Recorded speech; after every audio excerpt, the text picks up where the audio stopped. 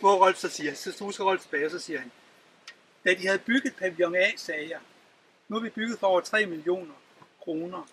Der synes jeg, vi skal anvende den til undervisning. Så jeg gik i gang. Da byggeriet var finansieret med gavemidler, havde det med andre ord ikke rigtig kostet noget. Det burde derfor være så let tilgængeligt, som det lod sig gøre. Nu var muligheden der for at introducere hovedværket i undervisningen. Vi havde haft undervisning om sommeren, men det krævede jo en længere studieperiode at komme igennem hele livsbog. Jeg regnede med, at det ville tage 12 år at komme igennem livsbog, hvis man læste den om sommeren. Men eftersom lokalerne alligevel stod tomme, hvorfor så ikke tage dem i brug øh, og bruge dem til det, de er beregnet til? Undervisning i åndsvidenskab. Øh, og det Rolf så oplevede, det var, at rådsmedlemmerne, det synes de faktisk er rigtigt. Men på den anden side, når nu pavillon A stod færdig, og Rolf kom og argumenterede på den her måde, så kunne de også dårligt sige nej. Så de gik med til det. Øh, så Rolf siger videre, efter at have investeret over 3 millioner kroner i noget, der ville stå ubrugt i mere end 11 måneder om året, var der nu et, det var der nu et alternativ til, hvordan man kunne bruge det. Folk kunne tilbydes mulighed for at uddanne sig i Martinusværket. Og i den situation ville det være alt for tosset at sige, nej, det kan man da ikke bruge det til. Så vinterskolen kom i gang, og det var i sæsonen, altså skoleåret 1984, 85, det var den første sæson, og der var det booket op med 13 elever. Nej, undskyld, 30 elever, så det var fuldt booket op. Men, og det er jo så igen der ejendommeligt, fordi helt fra starten så oplever Rolf, at, øh, at rådet modarbejder projektet. Så, og det var, det var også det var helt nede på sådan nogle meget lavpraktiske planer også. Altså Rolf som skoleleder, så har han jo brug for nogle elementære hjælpe, hjælpemidler, som en skrivemaskine og en kopimaskine, og han har brug for en lampe, han kunne læse ved om aftenen, det var vinterhalvåret. Og selvom han var rådsmedlem og leder af skolen, så må han ikke selv stå på de indkøb. Det var det andet rådsmedlem, der skulle gøre. Mm. Øh, problemet var så bare, at det ville så også godt, men der skete bare ikke noget. Så Rolf stod der og skulle i gang med undervisning, i gang med planlæggende undervisning, på gang, fordi han havde ikke givet hjælpemidler, og der skete ingenting. Så til sidst så var han jo faktisk altså, temmelig, øh, temmelig fortvivlet over det. Og så øh, Christian Malform, der er hans gode ven, øh, hørte så om det her, og, og Rolf og ham, de blev så enige om, at de kunne køre til Nykøbing, og så måtte de med Christer penge ud, og så kunne han komme i gang. Øh. Og fra starten der var skolen en, en kæmpe stor succes. Jeg har, jeg ved ikke hvor godt I kan se det, men det er et billede, der er taget fra skolen i 1986. Det ligger inde, det er en del af instituttets skole, så I kan se det der. Og i Kosmos, der kom der artikler af studerende, der fortalte om, hvor veltilrettelagt og stimulerende undervisningen var. Og i det, og i det hele taget hele miljøet omkring skolen. Og øh, Mary McGovern var en af de første deltagere. Og hun husker faktisk tilbage, 30 år senere, der blev hun interviewet til Kosmos af, øh, af Jens Christian Hermansen. Og der husker hun tilbage og siger det her. Det var en enestående mulighed og et fantastisk miljø, og det gav mig mange venskaber for livet. Men det krævede også disciplin at læse 17-18 sider hver dag. Vi modtog undervisning af Harald Berglund, Rolf Elving, Martin Tjek, Ole Terkelsen og andre. Der var et skemalagt program med foredrag, gruppearbejde, dialog omkring aktuelle kendelser i verden, bondforedrag, Martinus og andet. Vi underviste også hinanden, læste sammen, skrev artikler til Kosmos sammen. Alt var ret. Alle var ret kreative, siger man. Så ved, og så, hvis så vi går tilbage og kigger på udviklingen som den forløb, så vil officielle lejligheder ved Mindedagen og i Kosmos der omtalt uh, rådet Vinderskolen som succes. Øh, og som I kan se her, var der heller ikke grund til andet, fordi deltagerne var meget begejstrede for det. Og hvis vi lige vender tilbage til, hvad Martinus også sagde i den der forbindelse, så har jeg også her et citat fra et rådsmøde, hvor Martinus siger, for der skal jo også være undervisning. Der må jo undervises, de må jo undervises, de mennesker. Jeg går ud fra, at de gerne vil undervises, når de kommer her. Og vi skal jo lave skole. Det er det, der bliver vores store arbejde. At lave skole, hvor folk kan uddanne. Hvor man kan uddanne folk. Og særligt de folk, vi selv skal have. Vi kan jo selv uddanne. Det skal blive meget sjovt. Så det, der sker, det er præcis det, Martinus ønsker. Øhm, men som sagt, så var der den her modstand fra rådet, og det ender hverken værre eller bedre, end at øh, Rolf Elving efter øh, halvandet år, så, øh, så, så, så synes jeg simpelthen, at den her modstand fra rådet er for stor. Så han beslutter sig for at forlade processen.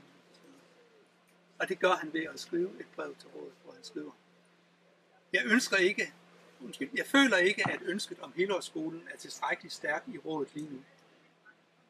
Så jeg vil derfor foreslå rådet, at vi sletter vinterskoleprogrammet ud af det program, altså det undervisningsprogram, vi er ved at færdiggøre. I hvert, I hvert tilfælde frasiger jeg mig helt ansvaret for vinterskoleprogrammets gennemførelse. Så siger han videre, eller skriver videre, materialet, idéerne ligger der jo nu, og skulle rådet på et, et eller andet tidspunkt få lyst til at realisere hele skolen, så er det jo bare at gå i gang.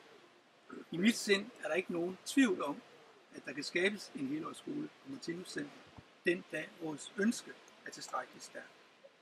Men jeg hverken kan eller vil skabe en skole imod rådets vilje. Udgangen bliver så, at Harald Berglund han overtager posten som skoleleder. Men det løser bare ikke problemerne, de fortsætter. Så det hele det ender med, at skolen den lukker. Og det bliver meddelt i Kosmos, at man vil begrænse undervisningen til to måneder om efteråret og to måneder om foråret. Og man betegnede skolen som en succes, men begrundede lukningen med, at den var økonomisk urentabel. Og der skriver man så her i Kosmos. Rådets vurdering af situationen er, at både det nuværende behov og instituttets økonomiske grundlag er utilstrækkeligt for at holde skolen i gang hele året. Derfor har vi følt os nødsaget til at beslutte, at vinterskolens aktiviteter tilpasses den økonomiske situation. Det medfører, at undervisningen i centret i Klint uden for sommersæsonen øh, 1988-89 bliver begrænset til to måneder om efteråret og to måneder om foråret. Og det kørte man så med i tre sæsoner frem til 1989, hvor skolen blev definitivt lukket.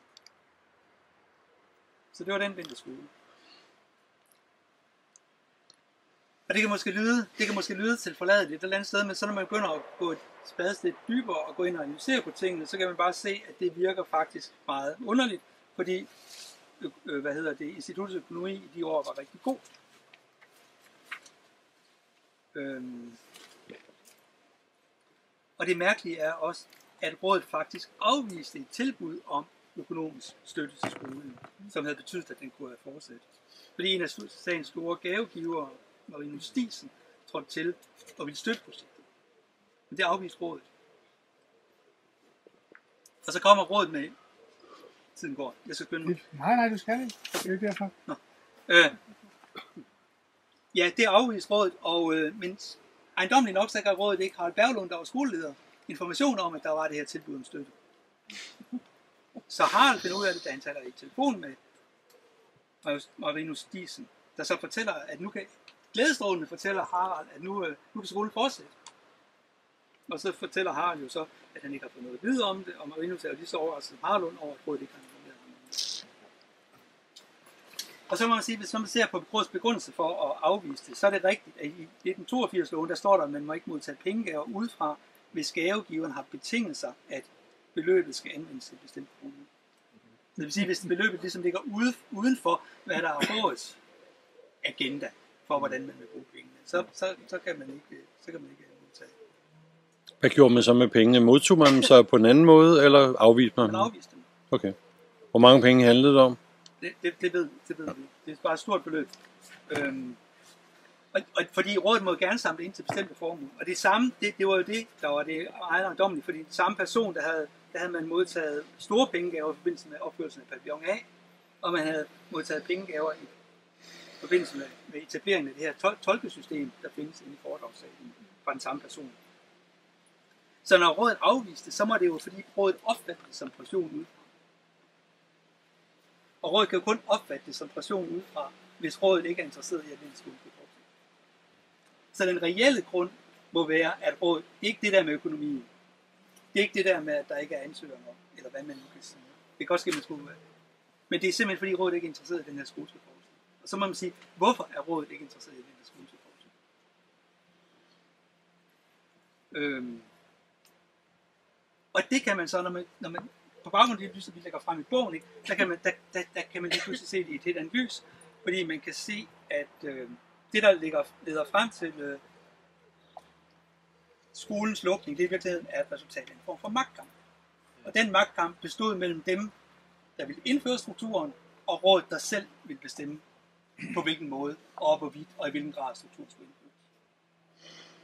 Så blandt de her undervisere på skolen, ikke, der var, de var toptunede til at læse Martinus, de kunne teorien på fingrene, de kunne lynhurtigt analysere rådets handlemåde, de så, når rådet gjorde forkert, de sagde det til rådet, og rådet synes det var ret irriterende. Ja. Altså rådet kunne simpelthen ikke leve med det. Så måden at komme af med de her undervisere på, det var at lukke skolen. Så alt tyder på, alle, alle vores analyser, vi kan jo ikke sige det 100%, men alle analyser, når man, når man kigger på den her sag, så peger alt på, at man har lukket skolen, fordi man, øh, man ville øh, af med kritik. Jamen simpelthen de her kritikere op til liv.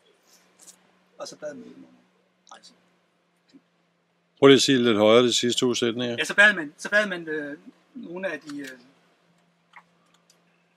øh, mest øh, artik- artikulerede af de her kritikere, dem bad man så om at rejse.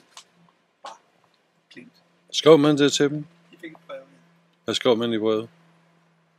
Ja. Øh, jeg har ikke brevet her. Cirka. Ja, men det er, det er faktisk en lidt længere analyse, hvis mm. man skal ind i det, hvad de, hvad de virkelig skrev. Mm. Øh, men, de, men de, altså kort fortalt, så, så ja, det ved jeg ikke lige, om jeg kan sige. Hvem var det, som man bad ham at rejse? Hvad var navnet? Jamen, Max det Kæk. Hvad var? Max Kæk.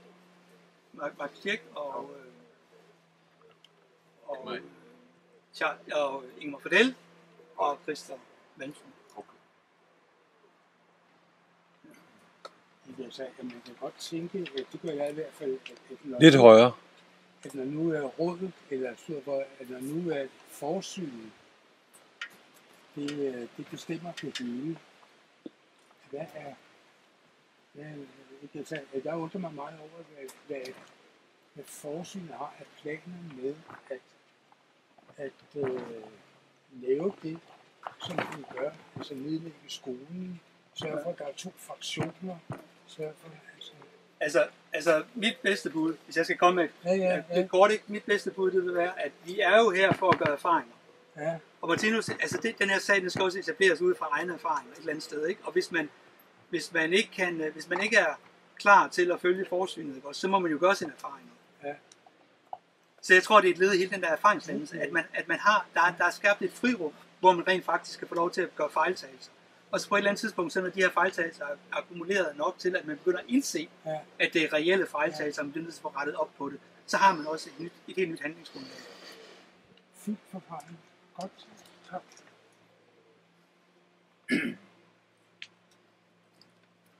Ja.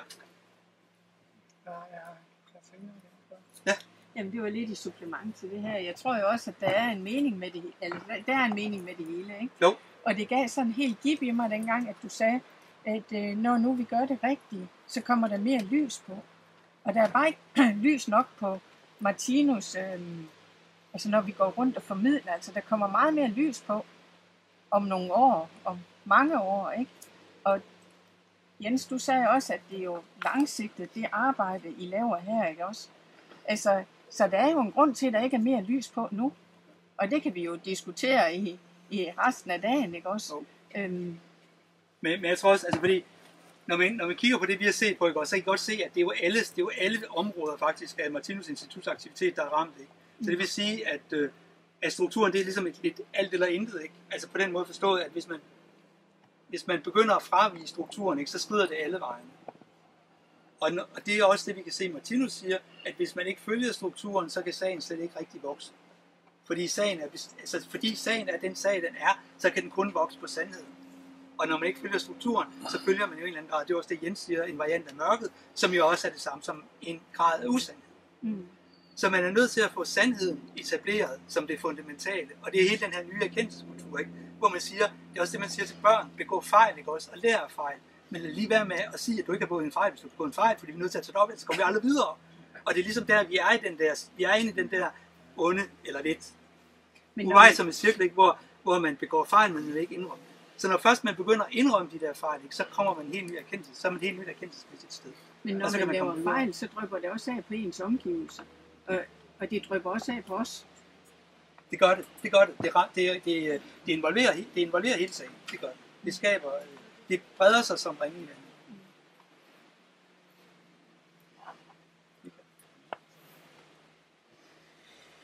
Jamen altså, jeg synes bare, at historien går igen.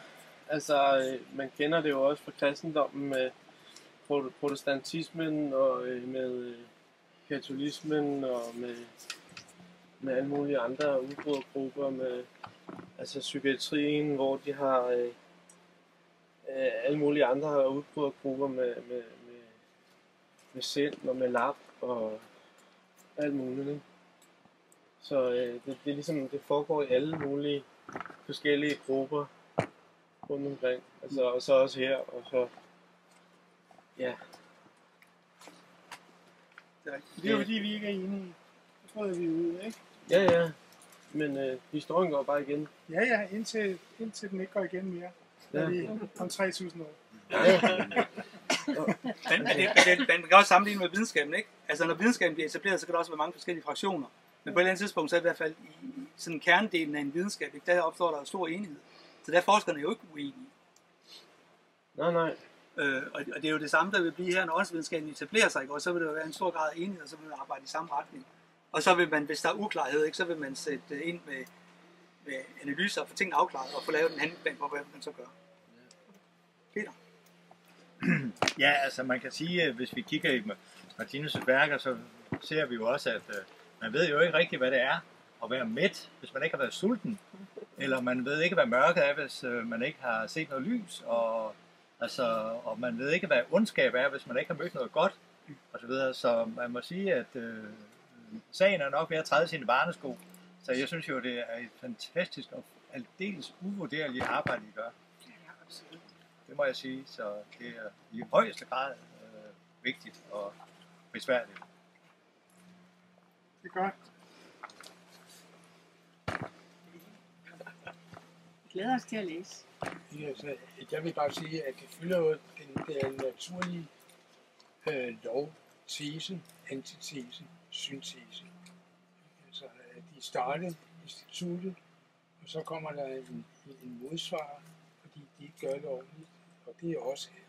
Og så kommer der til slut forhåbentlig en syntese med, at nu går vi den rigtige vej. Men det, altså, Michael, det er jo ikke, det er jo ikke sådan, at vi, hvis jeg må svare på det også, at det er jo ikke sådan, at vi er modstandere. Altså, man må have lov til at sige, hvad man synes, der er rigtigt og forkert. Øh, og det, det er jo så det, vi prøver på øh, at sige, ikke? Og så kan, de jo, så kan andre jo mene om det, hvad de vil. Altså man kan sige, Vi hvor, prøver, vi prøver at lave analyser, der viser, der, vi prøver på at begrunde det ud fra analyser, og ud fra den dokumentation, vi har. Ja. Og så hvis man synes, det vi har lavet, det er forkert, så kan man jo skrive en ny bog, hvor man, hvor man beskriver, hvorfor det er forkert. Altså det, det er man jo velkommen til. Det, det, det er jo ikke fordi, vi er uvenner, eller at øh, vi skal skælde ud på hinanden. Eller, altså fordi, og det var jo også derfor, vi havde hele det afsnit med de ufærdige sider med. Det er jo fordi, at vi ved jo godt, at vi alle sammen er ufærdige. Så selvfølgelig vil der ske fejl. Det er, mere, det er, det er jo mere omfanget af fejl, Ja. der bliver spørgsmålet. Ikke? Der er også nogle andre ting, man gerne vil sige. Men altså, jeg ved ikke, om man skal sige det. eller ej. Men måske skal vi lige gøre det færdigt. Med, øh, Ja. Så kan vi... Øh, kan vi øh, ja, ja. Fordi vi mangler kun de afsluttende bemærkninger. Øhm, vi har gennemgået al den skriftlige dokumentation, som vi har haft adgang til. Og der, altså vi må bare være ærlige og sige, at efterhånden som vi kommer igennem dokumentationen, så må vi bare sige, at vi synes, det er værre, end vi har. Den bevidsthed, der er øh, på Martinus Institut, udspiller sig i alle detaljer og sager. Altså, hvis man snakker med folk, nu har jeg jo snakket med mange mennesker om det her, så kommer den ene og siger, at det der med værket, det er altså det aller værste. Ikke? Og så siger den næste, ej, det er det der med loven og formålsparagrafen, der er det er det, der er det aller værste. Og så siger den tredje, ej, det er det der nummer med måske hvad, de lavede med måske hvad, det er det, der er det værste. Ikke? Øh, men altså i virkeligheden, så øh, det yes, jeg tænker, det er, at det, det er over det hele. Det er en bevidsthed, der er på Motivus Institut, som på en eller anden måde har overtaget styringen, og det er deres vilje, der gælder, og det kan vi se i alle sager og detaljer.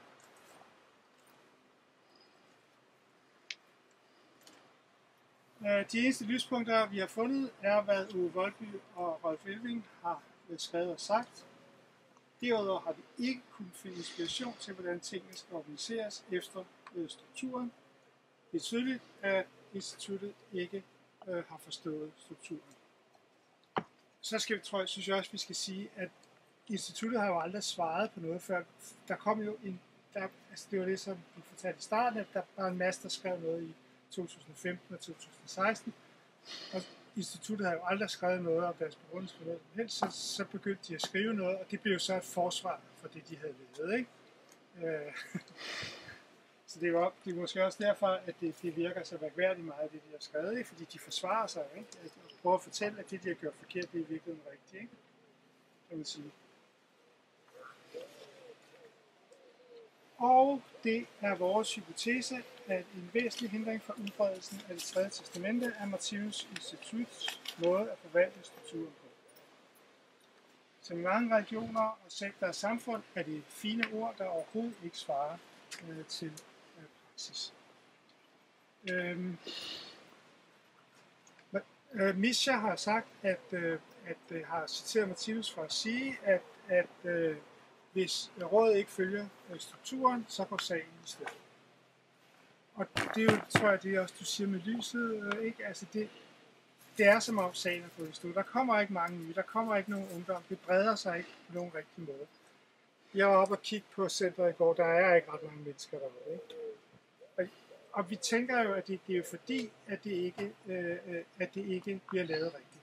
Hvis man nu forestillede sig, at der lige pludselig var 100 millioner mennesker, der interesserede sig for Martinus, og sagen var forvaltet på den måde, det er i dag, så vil folk jo finde ud af, at lovene er ændret, at formålsparagrafen er ændret, at der er ændringer i værket, og der er ændringer i organiseringen.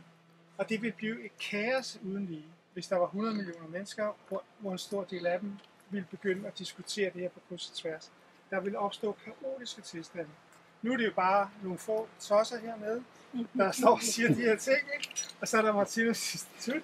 Så selvom folk synes, der er konflikter ude over alt muligt andet, så er det jo på et meget lavt niveau, ligesom sagen er på et meget lavt niveau, så konflikter er jo ikke noget, som så mange øh, stifter Så derfor så tænker vi, at strukturen er nødt til at være på plads, for at øh, det tredje sidste kan komme ud.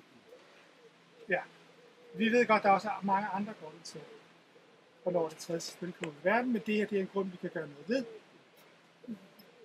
Og det er rigtig godt, det er rigtig godt beskrivet, at der ikke er noget lys på sagen. Og det, det tror jeg i høj grad hænger sammen med det her. Her Lange her. Det er noget, vi skal gøre noget ved. Hvad skal vi gøre ved det? Synes du? Jamen, vi, har jo, vi, skal, vi kan jo beskrive det. Vi kan, vi kan beskrive det. Hvad? Du kan skrive en bog. Ja, du kan skrive en bog, ja. Vi kan beskrive det og analysere det. Og fortælle om det. Ja. Uh, andet kan og skal vi ikke gøre. Men har man opgivet at have en levende dialog med rådet? Der har aldrig været nogen til Jeg tror, jeg, jeg, jeg, jeg tror ikke, øh, jeg, jeg, jeg tror ikke, der er nogen, der har været i dialog med rådet. Altså, Jan var inde og snakke med dem her efter retssagen. Det er det eneste, jeg i og for sig Det går ikke. Hvad? Ja, der har været mange forsøg. Også der er mange forsøg tilbage på 80'erne at komme i dialog med rådet. Vi har også, og vi har, både Jens og andre har skrevet åbne breve til rådet. Men der kommer ikke nogen dialog, udover at der kommer et råd, laver en stor forsvarstale på sig selv, og siger, at de mennesker, der kritiserer rådet, de modarbejder sagen. Mm-hmm. Og det er jo simpelthen fordi, man har, ikke, man har simpelthen ikke noget, man har ikke, man har ikke skabt et mentalt rum, hvor man kan, diskutere, hvor man kan drøfte de her ting åbent og redeligt. Fordi man er så, man er så optaget ligesom at, og, og man er meget optaget af, at man har fået overdraget den magt, at man har fået lov til at sidde i rådet, og så har man ikke, så har man ikke mentalt overskud til også at se på sig selv kritisk efter i sømmene, eller blive set kritisk på i sømne udefra. Men jeg kan godt gøre det her færdigt, fordi så er vi nemlig færdige. Der, jeg tror, der er et punkt tilbage. Øh, det, altså Martinus Institut gør også mange gode ting. Altså det er jo, ja, den her er ikke så flot, men det er jo nogle flotte bøger, de udgiver. Altså de holder mange øh, fine foredrag og øh, studiegrupper og, og så videre. Så, så de gør også øh, mange rigtig gode ting øh, for at øh, fremme øh, Martinus. Men der er ganske enkelt noget i fundamentet, der er problematisk og forkert. Så det er selvfølgelig, er det selvfølgelig rigtig vigtigt, altså det her, men det er jo bare ikke det, vi har sat fokus på, vel? men der er gode ting, og der er, der er gode takter. Øh, så, så, men, men, og det andet selvfølgelig også, vi forsøger virkelig også at gøre opmærksom på, det er også det, øh, også det der ligger i det der Jens siger med, de, med det indledende kapitel, ikke? at det er jo ikke, det er jo ikke for at pege fingre af nogen. Overhovedet ikke, vel? Det er jo bare for at finde ud af, hvad, hvad vej vi skal gå. At det er simpelthen for at finde vejen, finde den rigtige vej frem. Det er det, vi forsøger at afdække. Igen. Jeg ved ikke, om jeg må sige noget. Det må du gerne. Nå, Så rejser jeg mig op. okay. Det er uden for programmet, men altså, Det skal være kort. det skal være godt. Men Michael, skal vi ikke gøre det? Nej, det er uden for programmet, skal vi så ikke gøre det? Ja, bagefter. Så gør vi det bagefter. Ellers så bliver det optaget. ja. Vi gør det bagefter. det er det, ja. I kan også klippe det ud. Øh, Nej, nej, vi, vi har ikke tid til at klippe. Vi tager det bagefter. Du får, du får ordet bagefter. Ja, du får ordet bagefter. Peter? Nej, jeg vil bare lige øh, sige en kommentar til det her med, øh, at hvornår menneskeheden nu finder ud af det her fantastiske verdensbillede. Og det har jeg jo hørt på i 30 år, at øh, mange har været meget utålmodige, og det må komme næste år, eller næste år, eller om fem år. Eller... Men altså, jeg må sige, Martinus siger jo selv først, eller siger jo selv om det, at det er jo først efter den her store Ragnarok-periode, at øh, en- en stor og bred interesse for sagen vil, øh, vil vise sig. Fordi, øh, kan man sige, sådan som verden er nu, øh, så ser det jo hele jo lidt lyserødt ud. Altså, det, hele, det kører jo på fuld knald og så videre. Nu er der så noget stigende konflikt i verden, som jo så er på vej til at kulminere, men øh, for mig at se, vil det jo først være efter den her forfærdelige periode, der er afsluttet, den, at den vil åbne for en meget bred interesse for Martinus' værker. Ja. Men jeg tror stadigvæk, at strukturen skal være på plads.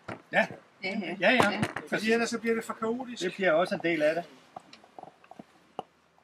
Det er også grund til, at jeres bog når lige at komme. Det knuser. Ej, tror du, tror du ikke, den er færdig? Ja. Jo, jo. Er der andre det kommentarer, spørgsmål? Rigtig godt arbejde, I laver. Ja, Det vil jeg også